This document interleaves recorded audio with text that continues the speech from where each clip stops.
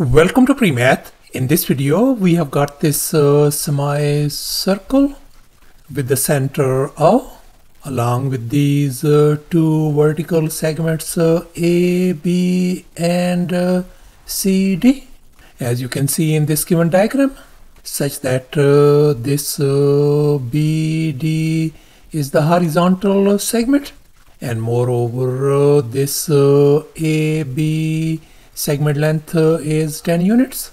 The segment uh, CD length is uh, 20 units. And this horizontal segment BD length is 30 units. And furthermore this angle is 90 degrees. And likewise this angle is 90 degrees as well. And now our task is to calculate the area of this uh, semicircle. Please don't forget to give a thumbs up and subscribe and please keep in mind that this figure may not be 100% true to the scale.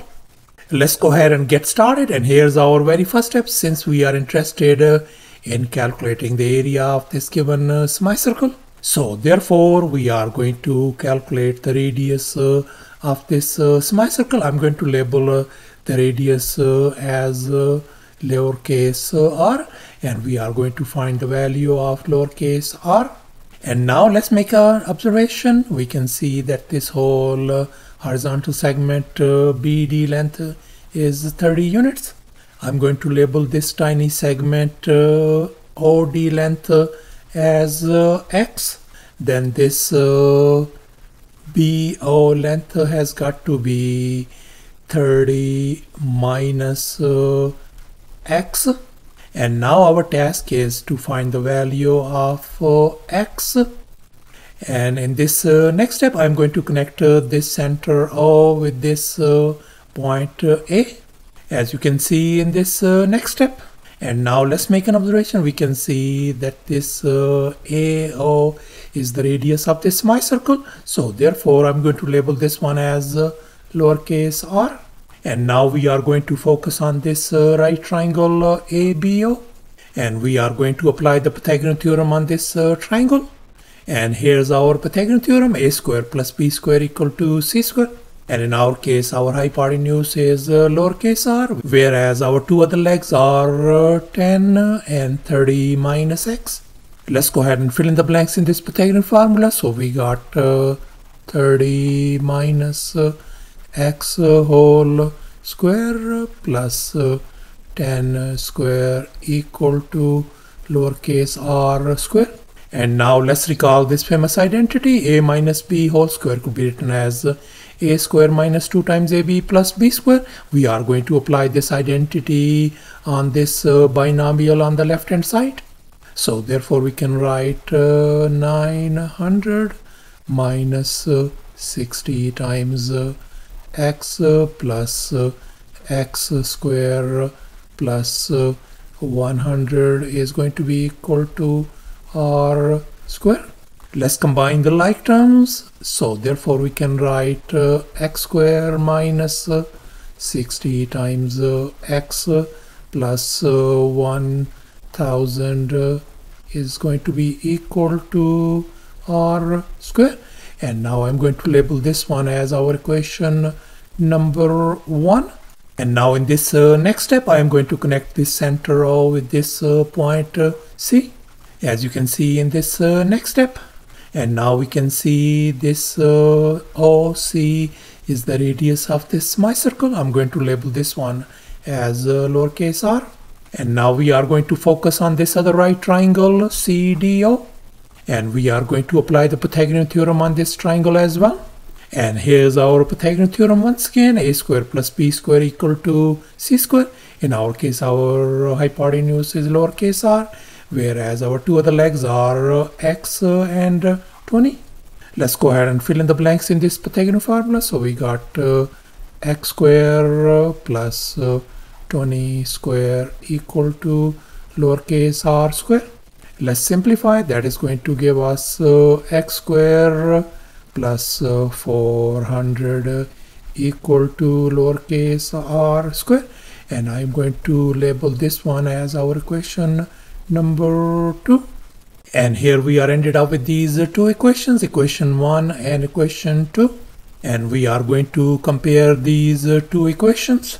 And we can see our right hand sides are uh, identical so therefore I can equate uh, the left hand sides uh, as well.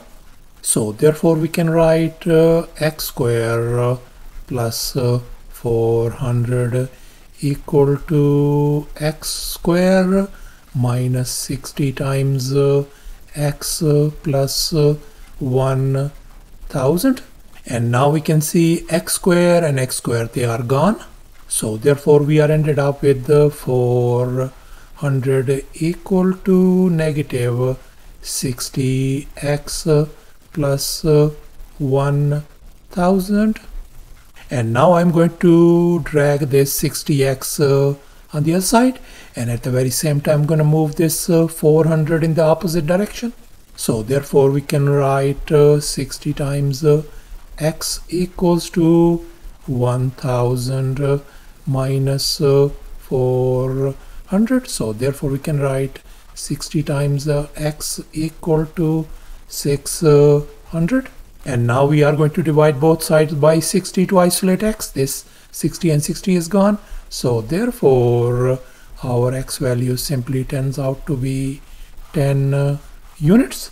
So thus our x value turns out to be 10 and now we are going to focus on this equation 2 and here I have copied down equation 2 and now I'm going to substitute this uh, x value 10 uh, over here.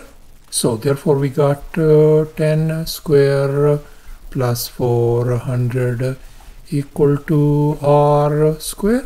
or simply 100 plus 400 equal to lowercase r square.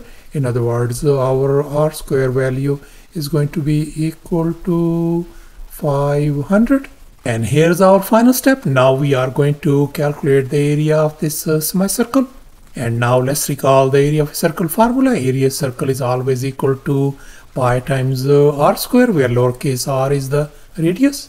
So therefore our semicircle area is going to be pi divided by 2 times uh, r square and now our r square value is 500 i'm going to substitute that value 500 over here.